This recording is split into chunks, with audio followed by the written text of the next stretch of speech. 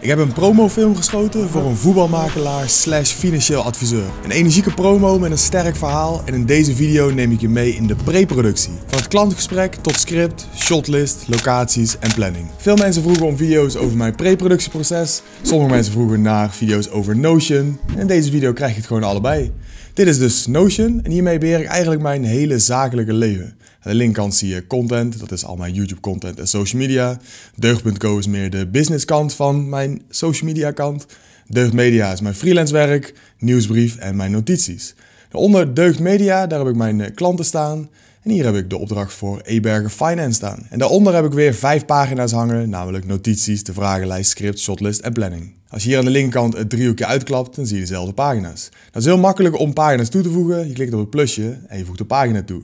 Je kan eigenlijk oneindig veel pagina's toevoegen in pagina's en zo maak je je eigen structuur. Het is echt heel simpel, dat ga ik verder niet echt uh, uitleggen. De eerste stap in de pre-productie is het klantgesprek. In dit geval kwam hij naar mijn studio, maar dat doe ik ook vaak telefonisch of via een videomeeting. In dat gesprek ga je een beetje sparren en de wensen bespreken en dat sla ik allemaal op onder notities. Hier heb ik bijvoorbeeld linkjes geplaatst naar zijn website en naar zijn verhaal. Hier een beetje over de inhoud wat eh, notities gemaakt. Dan hieronder staan alvast wat shots, dus wat ideeën die we hebben om de video aan te kleden. We bespreken ook gelijk even de deliverables, oftewel wat voor eindproducten wilt u hebben. Voor mezelf had ik ook alvast opgeschreven hoeveel werk erbij komt kijken. Nou, sowieso de pre-productie voor dit project. Dan ga ik voor hem een script schrijven.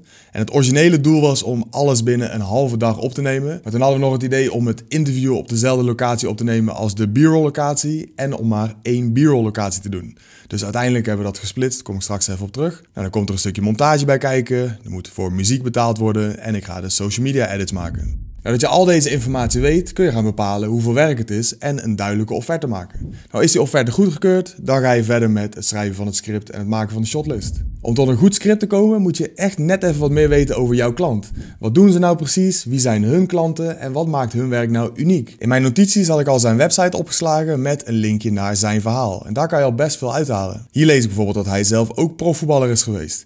Hij was kwetsbaar, hij maakte wat fouten, heeft slechte investeringen gedaan. Maar daar heeft hij zelf heel veel van geleerd. Oftewel een sterk eigen verhaal. Inmiddels is hij 12 jaar voetbalmakelaar, dus heeft veel ervaring opgebouwd. En hieronder zie je wat hij nou concreet doet. Financiële begeleiding voor een kwetsbare doelgroep van jonge, succesvolle mensen. Dit is al heel veel nuttige informatie, maar voor een goed script heb ik nog net iets meer nodig. En daarvoor gebruik ik mijn pre-productie vragenlijst. Wil je die nou ook downloaden? Dat kan helemaal gratis via de link in de beschrijving of deze link hieronder. Die vragen stuur je door naar de klant en dan kunnen ze er even rustig over nadenken en goede antwoorden geven. Dan zijn we weer in Notion en hierboven gaan we terug naar het overzicht. En hier heb ik de vragenlijst staan. Ik ga niet alles prijsgeven wat hierin staat, maar ik wil er even eentje laten zien. En dat is Welk probleem los je op voor ze? Hij wil dus financiële stabiliteit creëren tijdens en na een carrière en ook voor de volgende generaties. Dat was dus zo belangrijk voor hem dat ik dat in het script heb verwerkt met bijpassende beelden. Dat zorgde voor een sterk einde aan de promo en dat geeft echt het gevoel van, ja, dat wil ik ook bereiken. Ik weet nu dus echt alles van de klant, tijd om een script te schrijven. Nou, stel nou je hebt een nieuwe pagina gemaakt, ik doe het even hier als voorbeeld. Dan doe je schuine streep en dan database en dan kies je een van deze opties, inline bijvoorbeeld. En dan krijg je zo'n tabel. Nou, deze kan je helemaal aanpassen naar hoe jij dat wilt. Ik zal de mijne laten zien. Klik ik op script. En hier zie je het script dat ik heb gemaakt. Aan de linkerkant alle tekst. Hier heb ik het type toegewezen, oftewel B-roll, A-roll, animatie, maar dat kan ook een screen recording zijn of foto's. Kan zelf bepalen trouwens, dus je kan hier gewoon zelf labels van maken. En hier heb ik alvast het bijbehorende beeld bedacht. Ik begin dus met het schrijven van het script en dat doe ik op basis van alle informatie die ik heb verzameld. Maar hoe je dit nou precies doet, daar kan ik niet echt tips over geven. Dat moet je gewoon doen. Begin gewoon te schrijven, pak woorden bij elkaar, pak die informatie bij elkaar en ja, probeer iets leuks te maken. Ik heb ervoor gekozen om aan het begin gelijk de aandacht te trekken van de doelgroep. Een jonge leeftijd, veel geld verdienen, leven van dure auto's en luxe goederen.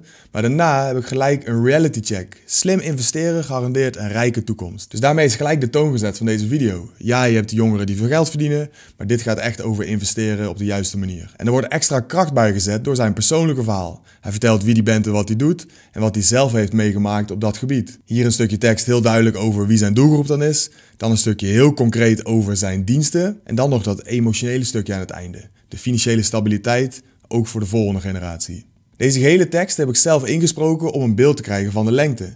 We wilden gaan voor een maximale lengte van anderhalve minuut en dan moet je er toch wel voor zorgen dat de pure tekst 10 seconden korter is. Om de klant een goed beeld te geven van het totale concept ben ik alvast ook de beelden erbij gaan bedenken. Dus per stukje tekst heb ik alvast genoteerd dat het b-roll is en wat we daar dan bij willen zien. Aan het begin wilde ik echt een hype intro doen. Mooie beelden van auto's, echt om die aandacht te trekken van die doelgroep. Dus ik heb bedacht dat we autoshots rijdend willen filmen, eh, shots van het interieur van de auto, gezicht van de klant, auto uitstappen, dat soort dingen. Dat begin heb ik uiteindelijk ook heel erg vlot gemonteerd. Echt nogmaals om die aandacht te trekken. Dus de tekst trekt de aandacht, de beelden, maar ook de vlotte montage. Naast die b-roll heb ik ook alvast bedacht wanneer ik de A-roll wil zien. Oftewel wanneer die echt rechtstreeks in de camera kijkt. Ik heb dus bedacht dat hij in de camera kijkt, zodat het heel erg persoonlijk wordt. Hij spreekt echt richting zijn doelgroep. Je ziet ook vaak dat je bij interview settings dat ze naast de camera kijken. Kan ook heel erg gaaf zijn en professioneel. Maar voor dit wou ik het heel persoonlijk maken. En waarom dan met dit stukje? Ja, hij stelt hier zichzelf voor. Ik ben Joost Eberger, dus dat wil je hem ook zien natuurlijk. Bij het volgende segment doen we een meeting over finances. En dat doen we dan met dezelfde hoofdrolspeler als uit het eerste segment. Daarna doen we weer even een stukje A-roll om de B-roll te onderbreken. Want daarna gaan we naar een ander segment, namelijk een etentje met voetballers. Daarna nog heel kort eventjes die A-roll. Dan een animatie, want hij gaat dan heel concreet iets zeggen over die diensten. Dan heb ik eigenlijk een animatie gepakt die overeenkomt met zijn website. Daar staan ook zes items op. Dat heb ik ook verwerkt in een animatie. En in bijpassende kleuren, zwart, wit en goud. Want dat zie ik ook terug op zijn website. Het laatste segment heb ik meer in een huiselijke setting gedaan. Iets meer casual. Ook wat meer casual kleding. Dat wilde ik heel erg persoonlijk houden. Hier gaat het namelijk over die financiële stabiliteit voor de volgende generatie. Dus dat wilde ik gewoon in die huiselijke setting doen. Met ook een kindje erbij. Dit plan gaat nou richting de klant. En daar kunnen ze feedback op geven. Uiteindelijk hebben we de tekst een klein beetje aangescherpt. Maar in grote lijnen is het gewoon zo gebleven. Dan is het nu tijd om de shotlist concreet te maken. Voor deze video moet ik een interview opnemen en allerlei b-roll shots en die gaan we nou helemaal uitdenken. Het originele plan was om het interview te draaien op dezelfde locatie als de b-roll van het restaurant om zo een consistente look te maken. Uiteindelijk hebben we dit niet gedaan doordat het restaurant gewoon open zou zijn en het levert gewoon veel te veel lawaai op. Ook werd het te veel om in één avond te doen, alle tekst opnemen en b-roll schieten op meerdere locaties, dat ging gewoon niet. We vonden het cool om eenzelfde interview setting te maken als de portretfoto's die ik van hem heb geschoten. Een luxe uitstraling op een zwarte achtergrond, dus we hebben de tekst opgenomen in mijn studio. Dan gaan we weer terug naar het overzicht en dan gaan we naar de shotlist. Dit is eigenlijk eenzelfde soort uh, database als ik net heb laten zien, maar dan anders ingericht. Hier aan de voorkant heb ik bijvoorbeeld checkboxen staan, dan kan je heel makkelijk zo iets afvinken. Verder heb ik hier categorieën aangehangen, de locatie en de ruimte voor een linkje naar bijvoorbeeld een specifieke locatie. De eerste dat is de talking head, oftewel alle A-roll. Dat is een interview en die filmen we in mijn studio. Wat een handig is, is dat je hierop kan klikken, open, dan gaat hij open aan de zijkant. En hier kan je ook weer het script naar voren toveren. Ik zal je laten zien hoe het werkt. Schuine streep data, en dan table view. En dan kan je hier een source kiezen. En die source, dat is het script van dit project. Klik en boom, hier verschijnt het hele script. Dus als je nou zo bezig bent met de shotlist, dan kan je ook gewoon even snel het script checken door hier te klikken. En alles wat je hier aanpast, bijvoorbeeld XXX, dat past hij ook aan in het daadwerkelijke script. Boom, XXX. Handig toch? Dat vind ik zo handig aan Notion. Het werkt allemaal gewoon lekker samen. En het is gratis, dus wat wil je nog meer? Oké, hier hebben we dan de huiselijke setting. En die heb ik niet helemaal uitgedacht, omdat ik wist dat het heel erg run and gun zou zijn. Dus dan schrijf ik gewoon op allerlei shots van een werkoverleg in huiselijke setting. Dan ter plekke ga ik wel kijken. Over de shoulder daar, over de shoulder daar, close-upje hier, detailshotje daar.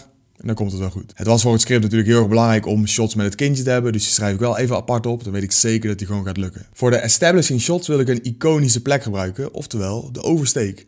Linkje erbij naar een vergelijkbaar shot. Nou, kan je op klikken. En dit is een beetje het beeld wat ik dan zou willen maken. De exacte filmlocatie die bepaal ik aan de hand van Google Maps. Dan kijk ik hier naar die brug en dan ga ik nadenken over waar die ene foto gemaakt zou kunnen zijn. Nou, uiteindelijk kwam ik hier op dit punt terecht bij Monument de Oversteek.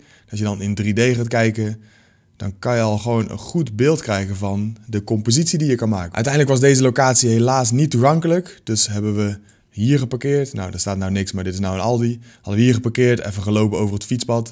En vanaf hier, volgens mij, hebben we de shots gemaakt. Binnen de categorie de oversteek wilde ik ook shots maken van een Porsche die voorbij rijdt. En daar had ik eigenlijk de perfecte locatie voor gevonden, namelijk de nooduitgang van een fietspad. Moet je opletten. Ik dacht, ik ga hier mooi tussen staan om dan shots te maken van die Porsche die voorbij rijdt. Maar wat bleek nou uiteindelijk op die shootdag zelf? Het was spits, het was keidruk, veel auto's, dus dat werkte gewoon niet. En wat ik ook in gedachten had, was om rolling shots te maken vanuit een andere auto. Lekker met een gimbal uit de kofferbak hangen, shots maken. Nou, dat ga je gewoon niet doen op zo'n brug waar het mega druk is. En het ziet er voor het beeld ook gewoon niet mooi uit. Maar goed, die shots moest ik wel hebben. Dus de plek hebben we een alternatief bedacht. We zochten een rustig plekje op. Er waren ook mooie lichten. En daar hebben we de shots gemaakt. Hier zie je dus de originele ideeën die ik daarbij had bij de rolling shots. Een keer een wide shot van de zijkant, een wide shot van de voorkant, een keer close-up op de wielen, close-up op het logo. Uiteindelijk hang je daar uit de kofferbak en ben je gewoon maar aan het schieten en denk je van fuck, ik moet gewoon mooie dingen maken. Maar in je achterhoofd heb je wel die ideeën en dat helpt toch wel. Dan wil ik ook gaan filmen in de auto.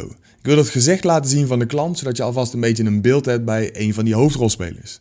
Het script gaat ook over luxe goederen, dus ik dacht, ik wil een horloge zien op het stuur. En verder gewoon wat toffe shots. Logootje, dashboardje, dat soort dingen. Gewoon even een beetje freestyle op dat moment. Oorspronkelijk had ik het idee om vanuit de establishing shots van die brug de auto al te horen en dan door te vlammen naar de rijdende auto. Maar omdat het plan met de brug uiteindelijk niet lukte, heb ik ervoor gekozen om allerlei b-roll te schieten van de auto terwijl die nog stil stond. En vanaf daar de motor te starten en te gaan rijden. Dat pakte eigenlijk best wel goed uit. De volgende shots zijn allemaal op dezelfde locatie, namelijk restaurant Banco. De klant had een moodboard gemaakt met allerlei luxe settings en uiteindelijk zelf deze locatie geregeld. Wel check ik dan van tevoren of die locatie geschikt is en daarvoor stuurde hij mij een filmpje die hij maakte met zijn telefoon. Om na het autorijden het verhaal een beetje aan elkaar te knopen, wilde ik shots maken van het parkeren, naar de entree lopen en binnenkomen. Bij het parkeren wilde ik graag die brug weer in de achtergrond hebben, dus ik zocht daar een locatie op en die was perfect. Dus hierachter heb je dat restaurant. En hier kon hij mooi die auto parkeren. En ja, je kan het hier niet zo goed zien, maar vanaf hier heb je een heel mooi uitzicht op die brug daar aan de linkerkant. Mooi filmen hoe die parkeert, even uitstappen met een kloosje en nog even kijken naar de brug.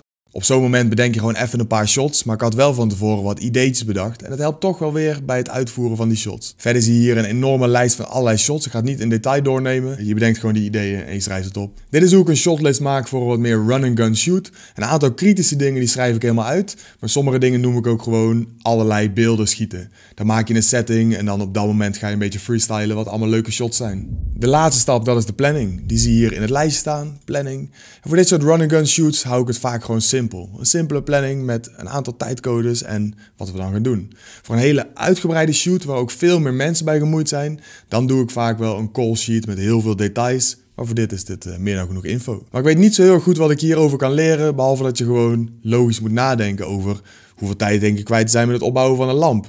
Hoe lang ben je aan het shooten en hoeveel tijd heb je nodig om te verplaatsen van de ene naar de andere locatie? En zo kom je uiteindelijk op zo'n planning. Maar ik moet wel heel eerlijk zijn, deze planning was veel te strak. Ik wilde het wel gewoon af hebben in één avond, maar uiteindelijk was het een beetje uitgelopen. Maar dat was niet erg, want we kregen lekker te eten daar en dat was een mooie afsluiter. Wil je nou mijn pre-productie vragenlijst downloaden? Check dan even de link in de beschrijving. Zorg dat je bent geabonneerd, want van deze shoot komt er nog veel meer content aan. Ik ga een uitgebreide breakdown doen van alle camera-instellingen en de gear die ik heb gebruikt. En nog een behind the scenes met heel veel toffe tips.